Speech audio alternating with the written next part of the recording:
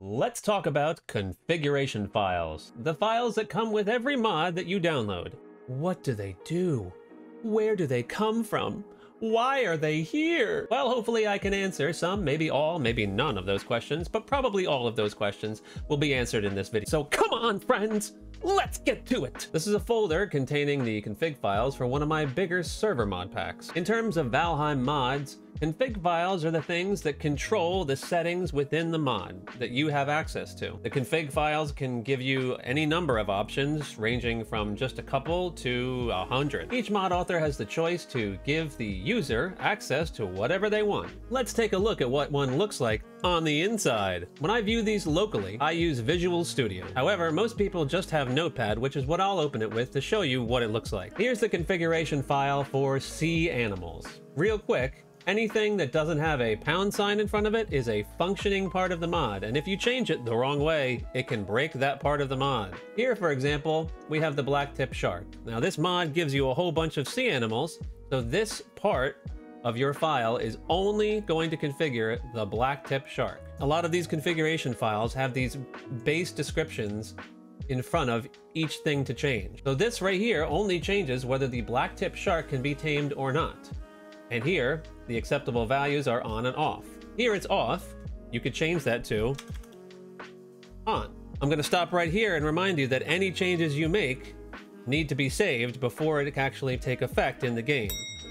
So if that's the only change that I wanted to make and I close this, it's going to prompt me, do I want to save it? Of course, I do because I've made the changes.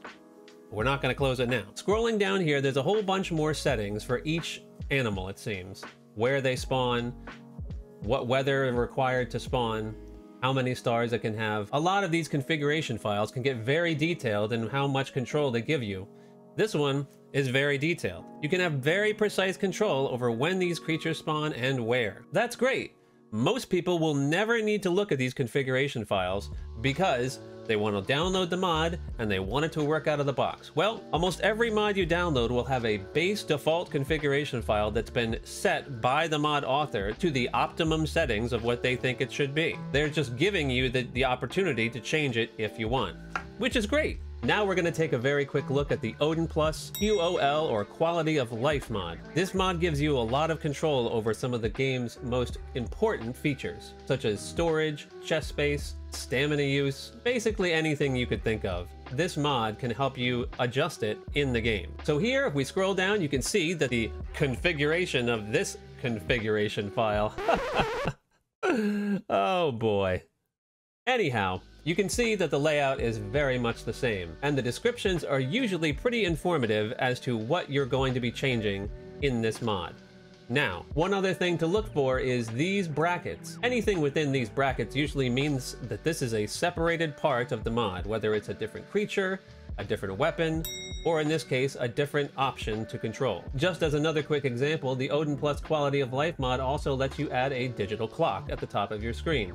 Here, we see it's categorized as clock, and here are the options. Pretty straightforward. Feel free to pause to get a closer look. Now let's take a quick break and head to the internet. That's right, Valheim on Thunderstore.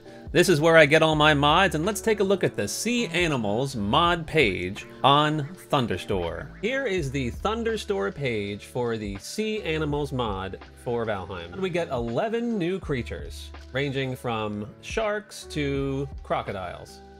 Also comes with new meats, which I'm guessing are cookable and eatable. This is on the Valheim Thunderstore page. And here's also where I upload all of my mod packs. In my opinion, the Thunderstore is the best and easiest way to get all of your mods and it works seamlessly with your Thunderstore mod manager or R2 Modman.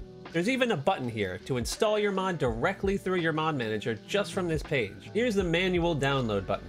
When I press this, I'm to show you what happens. Here it's opened up a zip file containing all the mod's contents when you initially install it. Inside the folder is the DLL file. This is the actual mod that's going to go into your plugins folder, if you were to manually install it. However, R2 Modman and Thunderstore Mod Manager both do that job for you. There's really no need to use the manual install if you are using one of those two mod managers. However, it's a great option to have if you need quick access to the zip file. Now down here at the bottom, you'll see the changelog. This is something that's included in the README file. and can be customized to anything you want. Here, the author has included regular patch notes with every single update.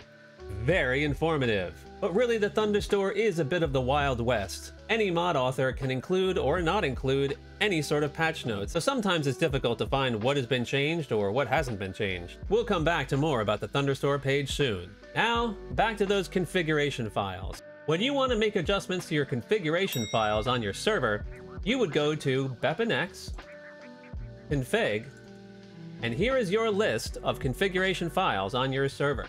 Again, it's the same location, both locally and on your server, so it shouldn't be that hard to find. I hope. Now, some configuration files are held inside folders, but that's mostly just for organization from the mod author themselves. Here is the Sea Animals configuration file. We're gonna right click on it to view and edit. Here, we've got the same exact format that we saw when we were viewing this file locally. If I change these values, it's possible the server may need to be restarted.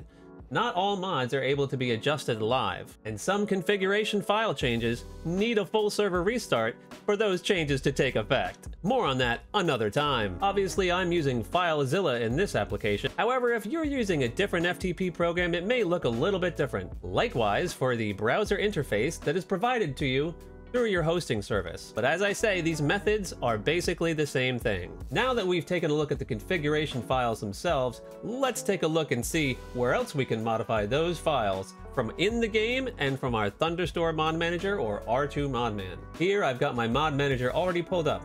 I'm going to click where it says Config Editor. Pretty straightforward. So here's our list of configuration files that we were just looking at through our Windows Explorer. Now we're looking at them through this UI, and here we can access all of the same features. If I go to the Sea Animals mod and click on it, I can open the file, which I was just looking at, or I can edit the config through this interface.